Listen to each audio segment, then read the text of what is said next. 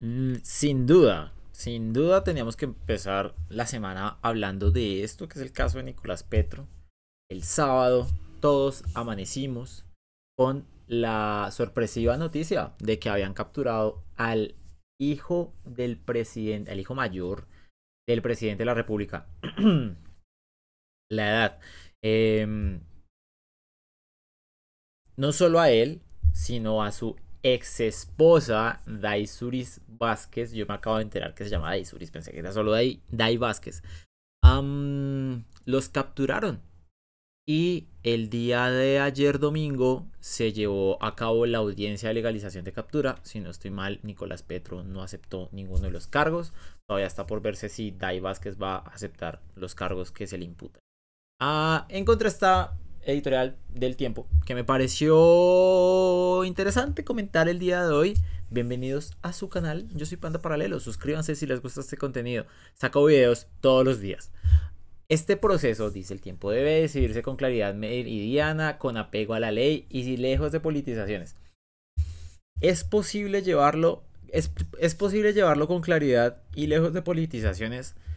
Yo creo que está bastante compleja la cosa con apego a la ley, ojalá, pero el tema de la politización de, los, de, estos, de estos asuntos es muy difícil de, de evaluar, aún más cuando el fiscal Barbosa y el presidente Gustavo Petro han tenido muchos encontrones, han tenido muchos conflictos.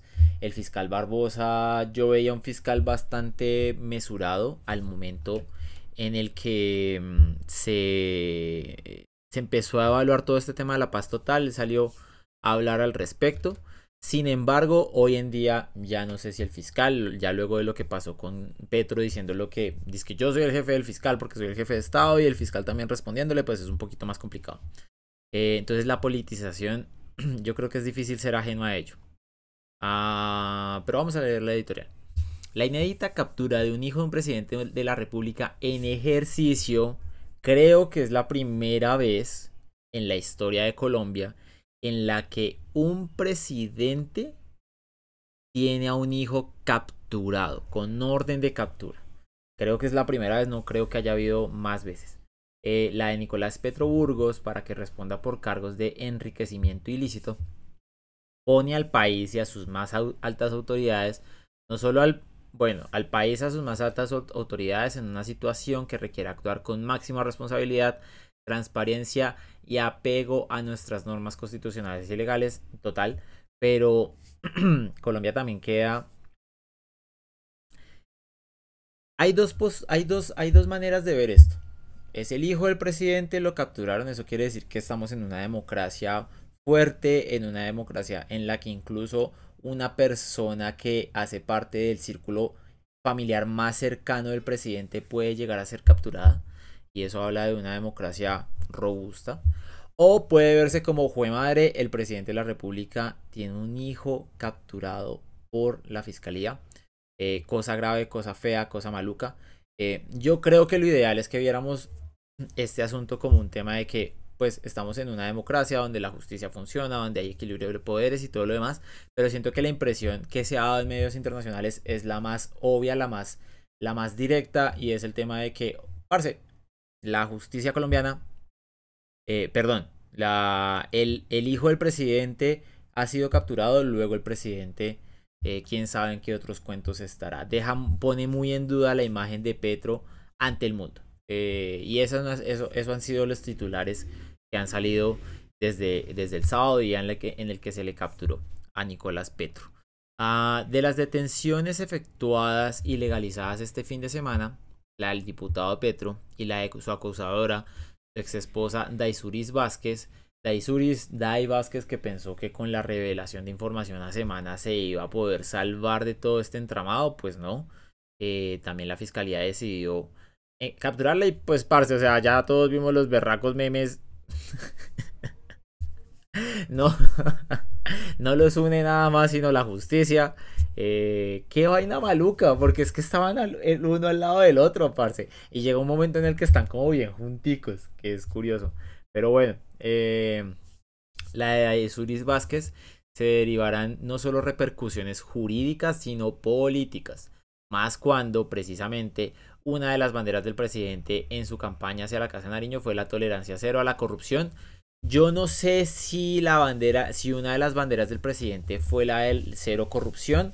Siento que más bien fue de pronto un elemento que utilizó mientras estaba en campaña política para hacerle competencia al discurso que tenía Rodolfo Hernández.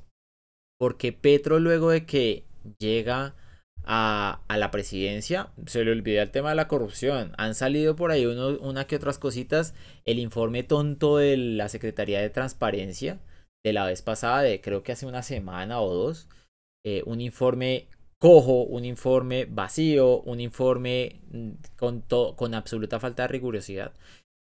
Y eso por parte de la Secretaría de Transparencia, porque por parte del mismo presidente Petro no se ha emitido ningún mensaje eh, es que iba a decir contundente, pero es que al final al cabo es que no, ha emitido ningún mensaje frente a los temas de corrupción. Entonces, pese, a que incluso el mismo Petro ha habido, eh, digamos que esa, él se ha, se ha enarbolado esa bandera de lucha contra la corrupción porque fue esa bandera la que lo llevó a detener todo el esquema de basuras aquí en Bogotá y por a causa de eso, él terminó siendo destituido por el, procurador Ordóñez. La, restitución, la destitución, pues luego fue. Eh, se, le, se le puso una medida cautelar por parte de la Comisión Interamericana de Derechos Humanos. Entonces, ya ha utilizado la bandera contra la corrupción, pero durante su gobierno creo que se ha ido por más temas de, de la paz total, de la defensa del medio ambiente, eh, de la, claro, de, de la del entramado de las mafias, de las familias aquí en Colombia, de la oligarquía y todo lo demás, para decir que él está siendo atacado por ser presidente de izquierda y por, por liderar el cambio, liderar, liderar el cambio. Creo que eso ha sido más la bandera de Gustavo Petro. No la he visto tanto con el tema de la corrupción. Pero pues eso no quita que pues al final eh, su hijo está siendo capturado por temas relacionados con corrupción y, y, que lo haya dicho o que no lo haya dicho, pues al final ese es el resultado a este caso en el que se investiga el supuesto enriquecimiento ilegal de Nicolás Petro, se suma a otros, como el que sacó de sus cargos a la ex jefa de gabinete Laura Sarabia, que cómo se nota la salida de Laura Sarabia, si el gobierno Petro antes medio cojeaba, ahorita sí es que mejor dicho está en silla de ruedas, literal. y Alex, ¿qué, qué dificultad del gobierno Petro para, para, para para verse, para actuar. En serio, que lamentable, muy lamentable. Al ex embajador Armando Benedetti y a otros casos y a otros relacionados con la, con la entrega de contratos a cercanos de altos, de contratos a cercanos, de contratos a personas cercanas a altos funcionarios y el círculo del poder. Eh, que por lo demás el tema de los contratos fue el que sacó a la ministra de, Minas, Irene Vélez, del Ministerio de, Minas. y se viene otro remesón ministerial, cosas que pasan en un, en un tan solo un año. Petro está a siete días de cumplir un año en el poder. Casos que están en investigación por parte de las autoridades competentes. En un corto, en un corto escrito difundido a través de su cuenta de Twitter, el presidente Petro ha dejado ver su dolor de padre, pero sobre todo ha enviado un mensaje adecuado el de un mandatario que como corresponde respeta y acata las decisiones del Poder Judicial. Si algo ha sabido capitalizar dentro de la poca sabiduría que ha, que ha, eh, que ha tenido Gustavo Petro en este, en este año de gobierno, porque ha tomado decisiones tontas, ha salido con, con, con frases bobas, pero yo creo que dentro de la poca sabiduría que le queda al presidente, este es un punto que hay que resaltar y que hay que dárselo a Gustavo Petro, parce. Y es el tema de haber sido capaz de salir con un tuit a decir, hombre, la justicia es la justicia, eso no me compete, yo voy a acatar las órdenes de lo que diga la fiscalía, aunque pues a él no le toca acatar, él es nomás un observador, él no, va a decir, él no tiene, de parte de él no hay ninguna intromisión en este caso como para que ande, ¿sí? O sea, él simplemente es una persona que que, pues funge en este caso como observador. Pero muy bien. aplauso. Dios mío, estas cosas que se me ocurren a mí. Aplauso para Gustavo Petro. eh, por haber salido eh, con ese tweet. La verdad es que es una postura muy madura, es una postura de un estadista y, que hay que valorarle. Hay que valorarle porque cualquier otro, en cualquier otro día Gustavo Petro hubiera salido con una vaina de que el, fiscal los estaba persiguiendo y ya en este momento tendríamos una bullaranga adicional y es que hay una persecución de, de la fiscalía al íntimo círculo del poder. Entonces yo creo que eso es bueno, eso demuestra una postura muy inteligente por parte del presidente de la República. Ah, en su momento, semanas antes de haberse conocido las explosivas declaraciones de la esposa de Nicolás, el mandatario pidió que las autoridades, eso es verdad, que las autoridades investigaran las actuaciones de su hijo y las de su hermano, quien en un primer momento tuvo una activa participación en los contactos de la paz total.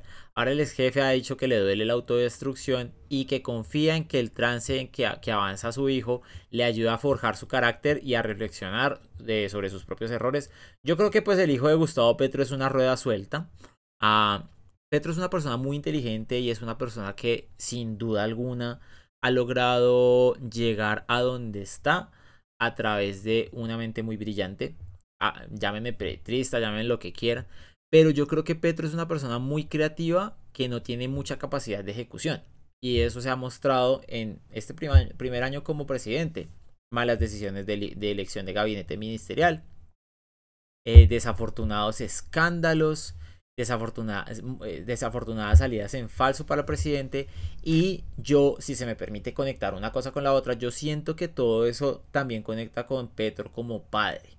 Yo siento que eh, como padre eh, Nicolás Petro no le ha ido, no, no ha sabido como... Él dice que nunca estuvo con Nicolás Petro, pues también eso es algo, algo que hay que analizar, pero yo siento que esa falta como de, pronto de, de, autoridad o de mando sobre sus hijos, pues es lo que lo tiene ahorita en esta situación frente a su hijo. Y yo creo que eso también dice mucho de Petro como persona, como mandatario, y es por ello la falta de ejecución de la presidencia de la República hasta este instante. Lo que procede en adelante es que, como lo garantizó el presidente, no exista la menor sombra sobre el respeto de la independencia de los poderes. Bien ahí Gustavo Petro, pero en la misma vía le corresponde a la Fiscalía y a los jueces evitar cualquier situación que pueda afectar las garantías y los derechos de defensa que tienen los procesados y detenidos en Colombia, llámense Nicolás Petro, Aisuris Vázquez o cualquier otro. Eso es verdad. Eh, no porque Petro esté permitiendo, eh, si bien es muy tentador para Gustavo Petro decir como que la fiscalía lo está persiguiendo. Es un momento muy tentador. Petro no ha caído en esa tentación. Que puede caer posteriormente. O sea, no quiere decir que porque Petro ya sacó un tuit diciendo como respeto a la independencia de poderes, entonces ya todo está bajo control desde ese aspecto, desde, desde, desde el aspecto de la intromisión de un, de un poder en otro, de una rama del poder en otra. Pero, pero, eh, ello, le, si, si Petro ya cumplió con su parte es respetar la independencia de los, poderes, a la rama judicial, en este caso fiscalía y jurisdicción penal, le corresponde ser respetuosa de los derechos de Gustavo Petro y de, Nicolás Petro y no excederse en los mismos, no más porque el presidente ya esté ajeno a todo ello. O no, o no, porque también para la fiscalía es una gran tentación decir, oiga, yo simplemente voy a hacer una persecución en contra de este man que es hijo del presidente de la República. Y si el presidente me reprende, yo voy a sacar la, carta de que él se está. De que él está vulnerando esa independencia de los poderes. No sé si me hago entender, pero va por este lado. Para el fiscal es muy fácil extralimitarse con su actuación en contra de Nicolás Petro, porque está blindado por el hecho de que el presidente no se pueda meter en eso para nada. Porque cualquier intromisión del presidente va a ser tomada como, oiga, eh, en efecto hay una intromisión y está respetando la, la independencia de poderes. Cuando puede que Gustavo Petro en efecto sí tenga un punto válido. Entonces, la fiscalía debe ser, como lo dice acá, mantener esa línea como viene sucediendo. Es fundamental para el bien de la institucionalidad. Yo creo que esto es... Yo vuelvo y repito algo que he pensado siempre yo siento que es una cosa muy...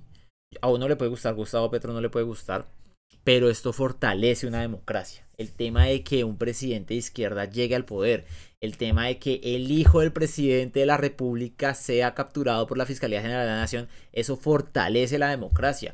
Y hay gente que no ha visto eso. Entonces es una oportunidad para que de verdad podamos ver si esto, si esto en verdad funciona o no. En una decisión del mes pasado de la Corte Suprema de Justicia, bueno, esto sí, eh, yo le encuentro cierto punto a Nicolás Petro en esto, pero pues si la Corte lo decidió de esa manera, también hay que respetarlo. La Corte negó por unanimidad la recusación que hizo Petro para apartar de su caso al fiscal Barbosa, argumentando una supuesta animadversión del presidente del jefe del ente acusador en contra del presidente, lo que señaló el máximo órgano de nuestra justicia ordinaria es que las actuaciones de la fiscalía han sido transparentes y ajustadas a las leyes.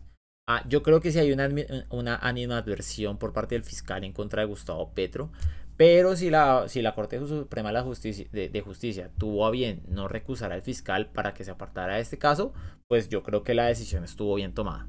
Ante este y otros casos relevantes, para evitar que las decisiones judiciales que se tomen en derecho sean utilizadas como bandera política, más a, más a tres escasos meses de las regionales, lo que esperamos todos los colombianos es que brille la justicia y en consecuencia absolviendo a quienes no son responsables de delito e imponiendo todo el peso de la ley a quienes la han infringido.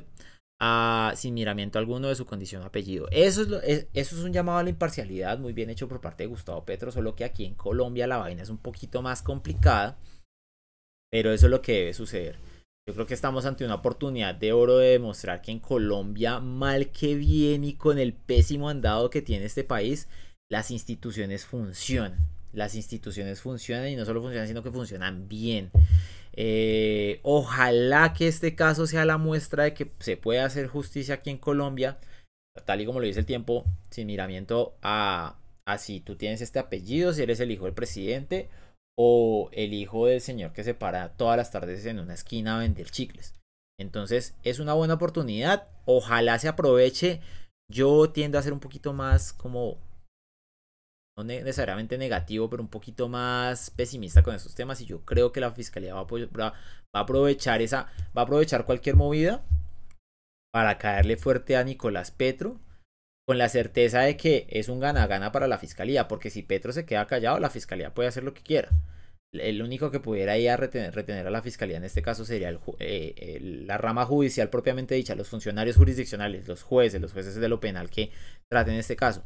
Pero es un gana-gana porque o bien Petro se abstiene de opinar sobre esto y la fiscalía sigue de largo, o si Petro opina, el fiscal Barbosa va a tener la carta de parce, el presidente se está entrometiendo en lo que no le compete, es un mal presidente y es un mal gobernante.